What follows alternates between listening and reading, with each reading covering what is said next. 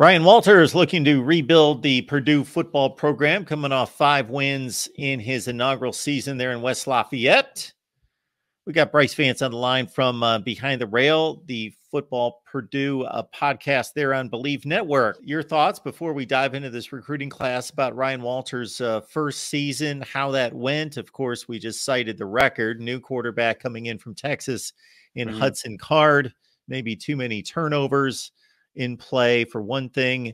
Just your thoughts about how the season went and if Ryan Walters has this thing going despite the record in the right direction. You have to look at what left the program um, and followed, you know, or exited the program or followed Jeff Brohm down to Louisville. Um, and and before this season, before this past season even started, um, he was coming in. You know, he did bring in a, a big transfer uh, portal quarterback in Hudson Card, and he had his moments, um, but you know it wasn't without you know mistakes, uh, turnovers, injuries. Um, it felt like the offensive line um, was just battling um, uphill the entire season to try to get at full strength. And when they were at full strength is probably when they played their toughest competition. You know, with the likes of Iowa, Ohio State, Michigan, kind of all in a in a month span. Um, and they really struggled uh, during that time. Uh, but then once they once they kind of um, got their um, offensive line or, or, figured out a, a game plan um, that worked, um, which was running the ball um, with Tyrone Tracy Jr., uh, Devin Mockobee. Uh, it really seemed to get them going offensively. Their defense, I thought, played a lot better than what the numbers will show you, uh, but it, it, just it felt like they were put in tough position time after time with the turnovers that they had um, on the on the offensive side of the ball. Fumbles were huge for Mockobee. Um, he got those fixed um, probably about a third of the way through the season. Probably had one more, uh, I think, through the last you know eight or so games, which was which is beneficial. But I, I just thought there was a, a tug and uh, a tug of war uh, between what this offense wanted to be at the beginning of the season and what they actually turned out uh, to be, because um, they wanted to be an air raid type offense, um, but they just really weren't built for that. They don't really have the they didn't really have the skill positions um, settled or healthy uh, all season long to really do that. So they kind of had to change on the fly of what they were offensively, and that really, you know, changed the, the course of what this season was was thought to be. Fumbles, field goal kicking that was an issue, worst yep. uh, percentage in the country, and also an interesting approach to out of conference scheduling. I I credited Purdue a number of times throughout the season for not necessarily playing like elite teams outside the conference or a murderer's row, but still no gimme wins playing three capable opponents. Uh, that is unlike pretty much anybody in the country. Uh, so that we'll see how that uh, obviously transforms going forward with uh, more difficult uh, games ahead in the Big Ten with the influx of the four teams from the Pac 12. All right, we've got a recruiting class where 25 have signed that letter of intent. And I'm looking to see if anybody's still out there. No, it looks like everybody is signed that has committed. So your initial thoughts about this class? Yeah, I think big picture, I think it's it's a good sign. Uh, it's a good direction of where you can expect Ryan Walters in this program to go. They finish 29th overall uh, in the composite rankings on 247, um, and that's you know pretty darn good.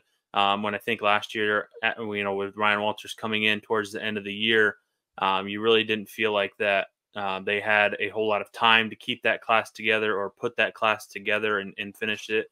Whereas they had this entire season to to make sure this class was up to the par um, that they could potentially reach. And I think you're starting to see the signs of what this um, recruiting staff or the staff wants to do. Obviously, they want to bring in uh, a lot of talent. They want to bring in uh, different, you know, sizes of, of players and, and the players that they fit their schemes going forward. Um, and I think they tried to do that during the in the transfer portal last year to try to plug those holes. But I really think that we're starting to see what the vision is uh, for this program going forward.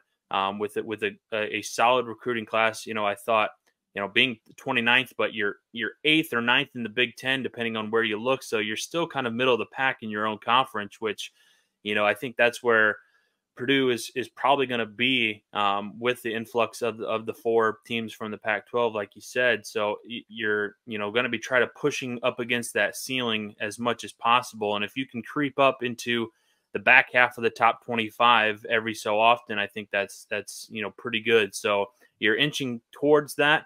Um, and I think you know if you can start to stack some of these classes that are in this range, I think you'll see uh, a, a, product on the field that'll you know push you know eight to to, to nine wins potentially. Um, depending on what they get out of the draw on their schedule in the Big Ten schedule. Bryce, we see three, four stars according to 247 Sports. Uh, who are the guys that you've looked at that you're excited about? You know, I think we start off at the top with with Coy Beasley. I think he's a guy. Um, you know, he might be a little undersized. You know, at 5'10", 170, but he's played um, in in a tough um, conference, a tough you know area of football in Ohio, coming out of LaSalle. So I, I think he'll be you know pretty seasoned and, and, ready to go. Maybe even day one. We saw Dillon Thieneman um, come in and start as a, as a true freshman last year. So I would expect Coy Beasley to uh, compete uh, for for a starting job, at least uh, you know to be on the two deep. Uh, I, I, think that he could definitely come in and compete for a job. I think he's got the speed um, to to compete. He's you know a track star. I think you know in the hundred he ran like the 10 4. So he's got a lot of speed that you know, this Purdue team needs. Um, is is one of their keys that I think that they wanted to hit on. And and then you you know you don't look too further down at, at Luke Williams, another safety um, playing out of out of Naperville. So I think you know with him being a, a bigger guy, you kind of see of of what they want eh, as far as where they're going to play these guys. You know, Coy Beasley probably fits that that's you know similar with Dillon Thieneman being a, speedster that has a lot of range, can you know play sideline to sideline, whereas Luke Williams might be that you know t- thumper type where you can come come down and, and play in the run game like Sanoussi Kane did uh, last year. So I think you know you start with those two guys at, at, the top and, and really starting to build up the secondary that was a, a, a, pretty big problem for this Purdue defense last year. As you listen to Ryan Walters uh, and, and, the questions that he's posed about his recruiting approach, uh, your thoughts about how that has compared to previous Purdue coaches, of course, Jeff Brohm being the guy that did a remarkable job in lifting a program that was winning. Mm-hmm whatever the the rate was. It was something like three and 33 over the previous 36 Big Ten games to a Big Ten championship game appearance and to consistent bowl play. And now Ryan Walters comes in, obviously, as uh, a guy that formed that Illinois defense into a top unit. Uh, but where does he feel like he needs to go to get the best fits for Purdue football and the best talent? Yeah, I think you're you're starting to see, you know, obviously they're going to be big players in the Midwest, but I think that they're trying to, you know, make headway into, uh, you know, states like Texas, like Florida, like Alabama, where you know football is is much more um, played at a higher caliber uh, than what it is in the Midwest. You have you know pockets here and there. I mentioned obviously Ohio is is is a huge one, and I think that you know they should be taking advantage of that.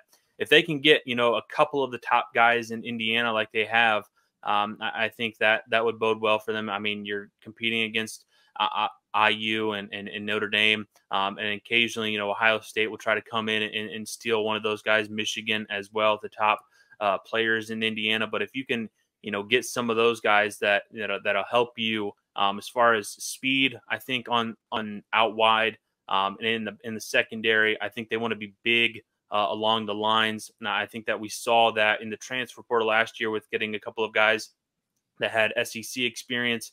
And I think we're starting to see that you know, obviously this is more National Signing Day, but you're also starting to see in the transfer portal class that they've already started with. Um, you know, picking up big physical offensive linemen and defensive linemen, and I, and I think that's what you want to see um, as as far as some of these uh, recruits that they're getting um, is is you're starting to see you want speed in the in the back end and in in the you know in the trenches they want to be big and physical uh, because they when they were big and physical um, along the defensive front. That was probably the the bright spot of this Purdue team last year was their front seven and how they were able to get after the quarterback. You had two guys near the top um, and one guy at the top um, of leaders in sacks and pressures and Nic Scourton.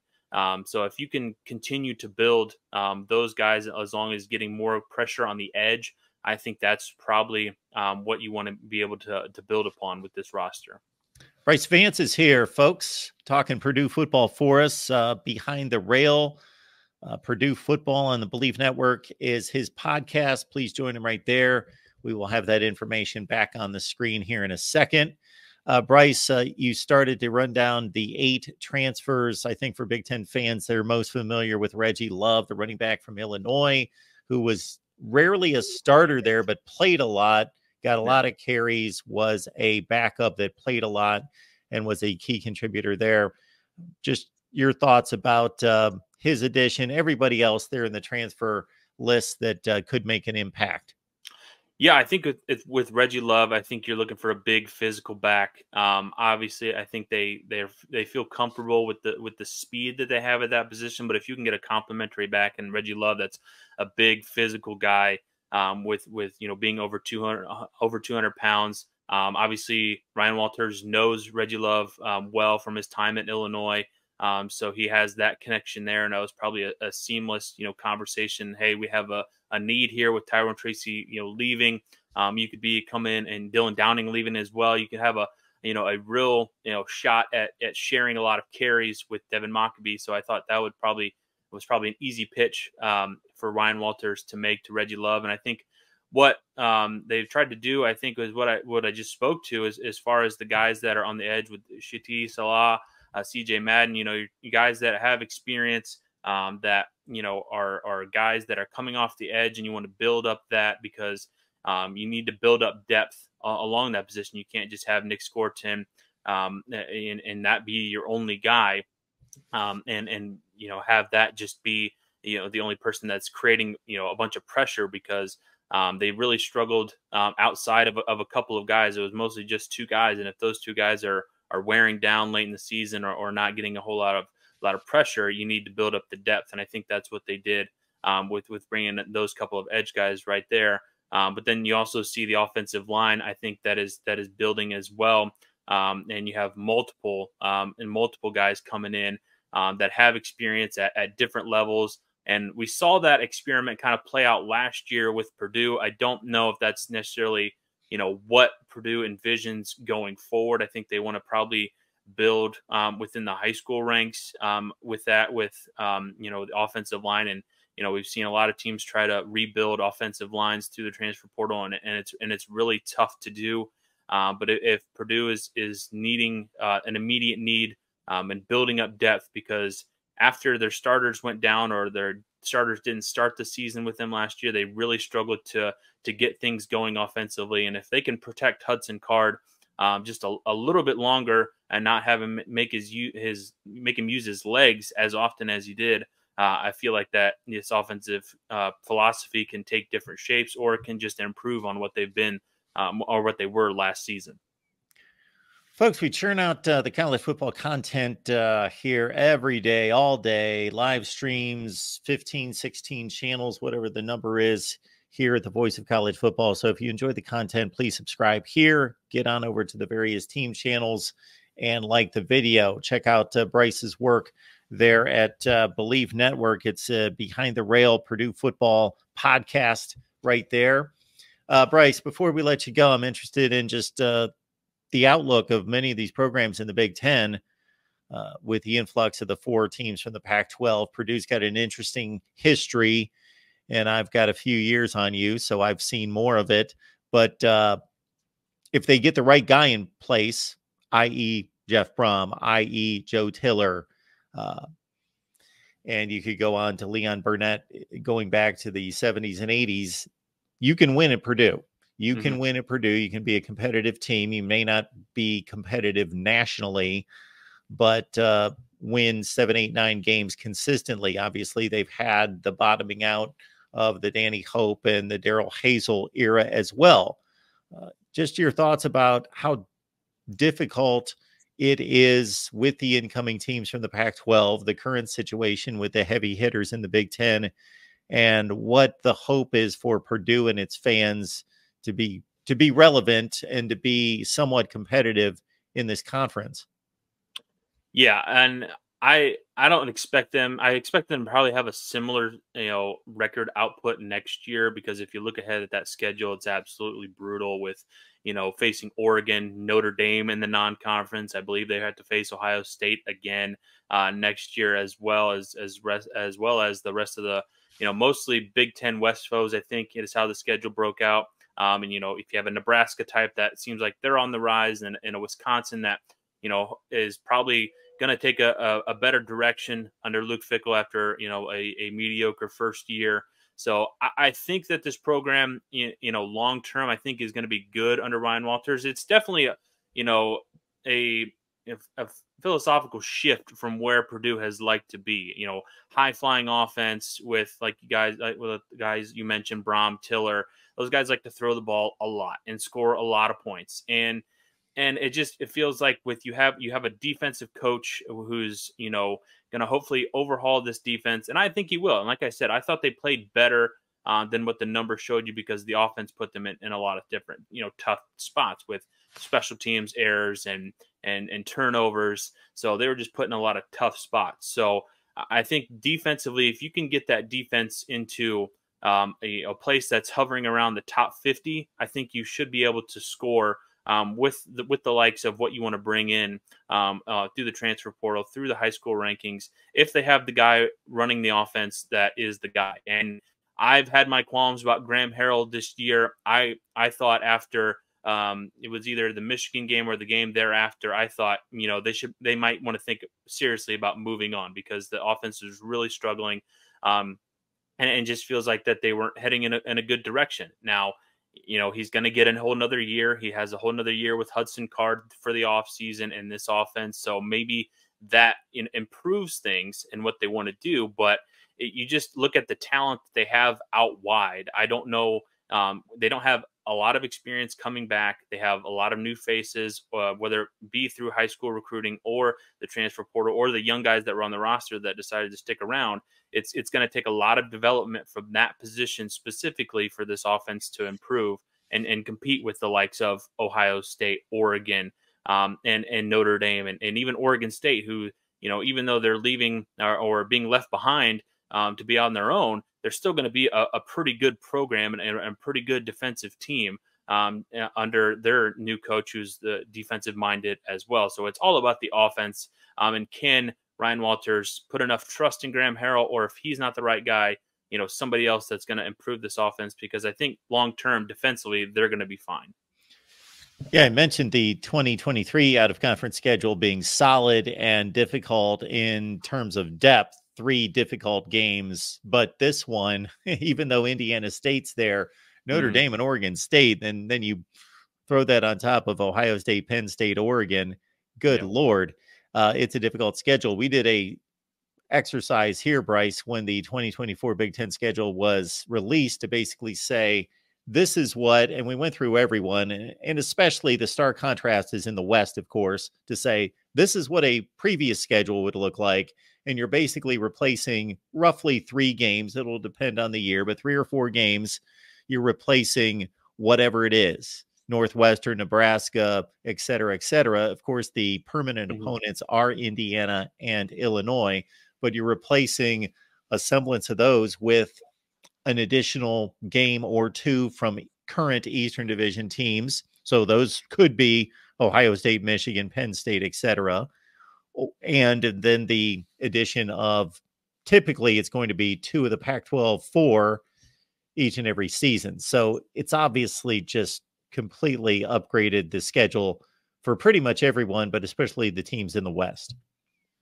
Yeah, and, and, like you said, if you you know run down the schedule, it's it's just absolutely brutal, and you, you see programs that you know, are hopefully improving just like Purdue is. I mean, Northwestern, you know, had a you know a really good year under a new coach, and they're they seem to be trending up. And and Michigan State has a new coach, but you know, all indications are that you know they might be improved next year with you know Aidan Chiles coming in as their quarterback, and you know you expect a, an upgrade in that position, an upgrade in, in head coach by by a lot. Um, like I said, Wisconsin, Nebraska, all all seem like they're improving um, and you're a program that's hoping to improve improve along with them. And and if you're going to be you know fighting for your fifth or sixth or seventh win it's it's going to be difficult because there's no let ups in the schedule. There's no you know weeks off where you can take or or it looks like an easy win outside of you know indiana state or maybe an iu because um, it, it just feels like all these games are either you know you're going to be an underdog or it's going to be a 50 50 coin flip type game. And and that's not doesn't spell a whole lot of hope for a coach in, in a program that is hoping to you know get to that you know seven to nine win mark every single season unless you improve drastically um, and you develop what you have on your roster or you go out and recruit well um, like i think ryan walters has done for at least this class that's coming in that's ranked you know in the top 30 in the country and you need to be doing that every single year as well as you know doing what you can in the transfer portal to pick up a couple of guys that are going to be either impact guys right away or add some serious depth so there's not a big drop off from your starters. Folks please like the video and uh, you can catch bryce's work there as you see host of the uh, behind the rail of purdue football there on the Believe network Bryce, before we let you go, I want to make sure that people, sure, we're we're displaying the information there, but the best way to find you and track your work and how often the uh, podcast posts. Yeah, it's a uh, it's a uh, now that we're not in season, it's more of just a, about a once a week uh, show when we're wrapping up, you know, National Signing Day, um, transfer portal a, as well. Um, just you know, follow it on. You can find it on YouTube. You can find it on uh, any podcast uh, platform. Just search Behind the Rails, or you can search my name. Um, you can find it on social media on on X or Facebook. Uh, you can find clips on Instagram or TikTok as well. So pretty much any any platform out there, you can you can find it. Just search my name or uh, Behind the Rails, and you should be able to find it. All right, Bryce. Thank you so much for stopping by, breaking things down for us. Alrighty, thank you.